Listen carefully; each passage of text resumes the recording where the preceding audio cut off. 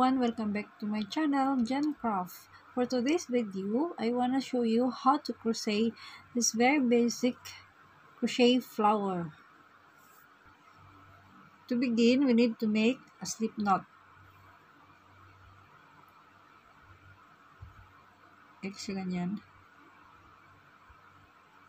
Then, put your hook inside, grab the yarn, and pull through. This is the slip knot.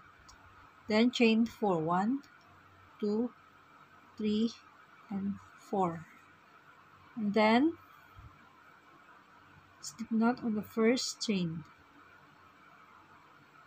Ayan. Grab the yarn, then pull through. This is our ring. Very small little ring. And then chain 1 chain one and then put your hook inside of the ring. And then put your hook inside the ring. Pull the yarn. And then grab and pull through.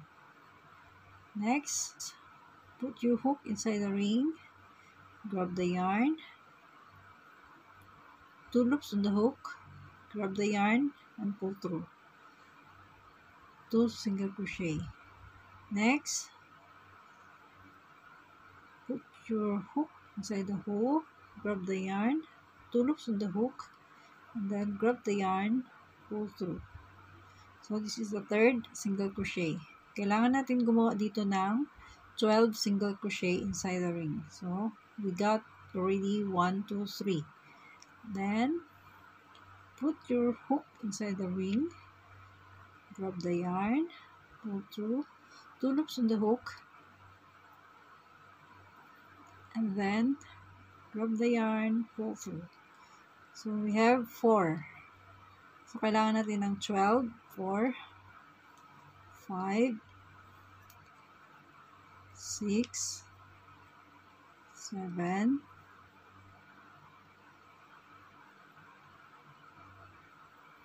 seven, eight,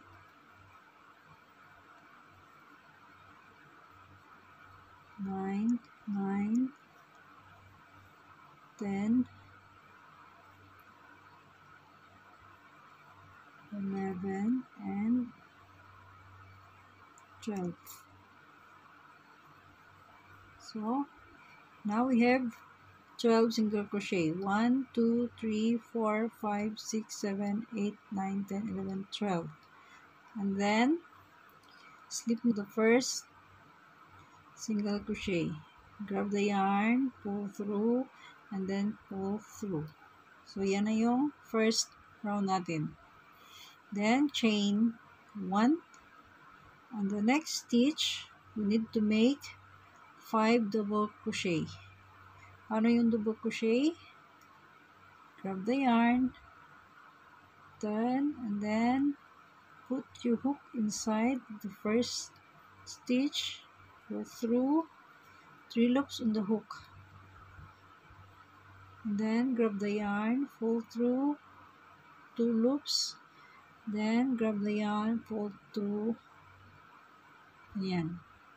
The next, yarn over, put your hook inside the first stitch grab the yarn three loops on the hook grab the yarn then pull through.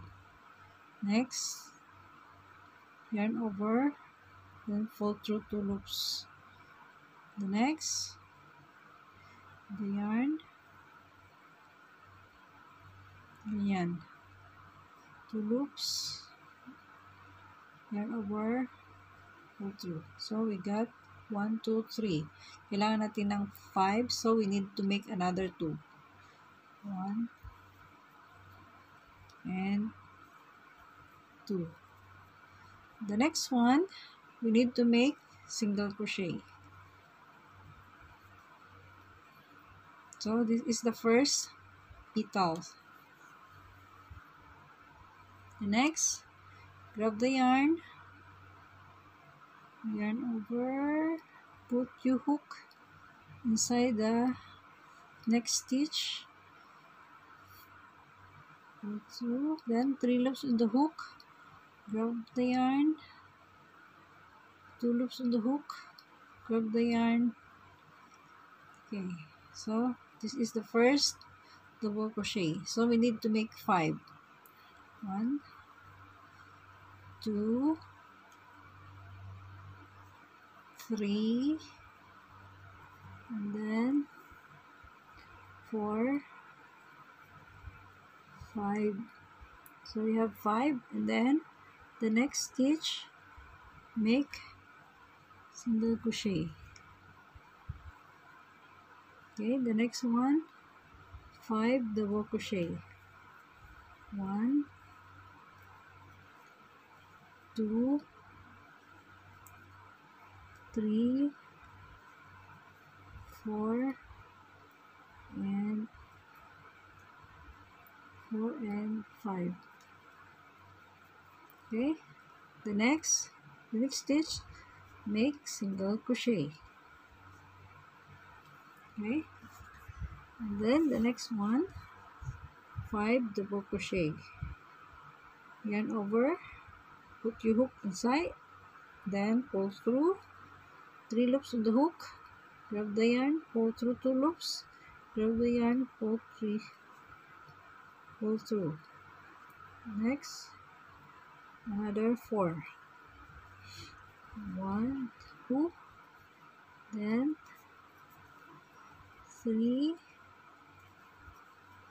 four and five.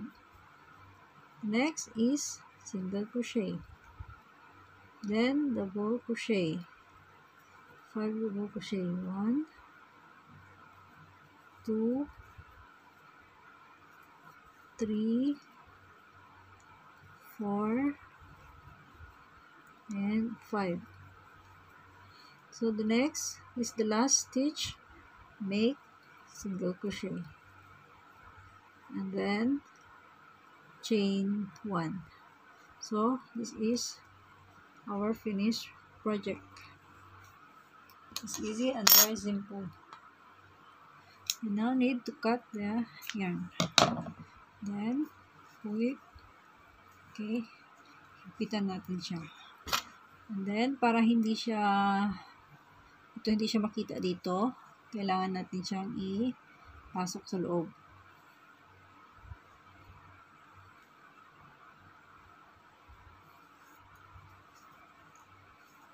So, ganyan na siya. Hindi na siya makikita. Then, dito sa likod. Ay.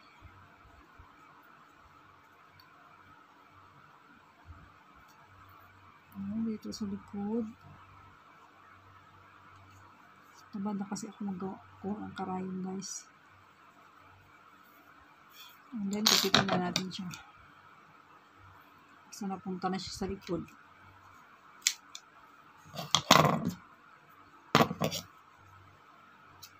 So, yan na siya guys. So, this is the our very simple and basic flower. It's very cute. Kaya guys, sa mga ano, sa susunod, anuhan ko sa inyo kung paano siya ipagduktong-duktong para maging ano siya. Pwede siyang gawin nating placement.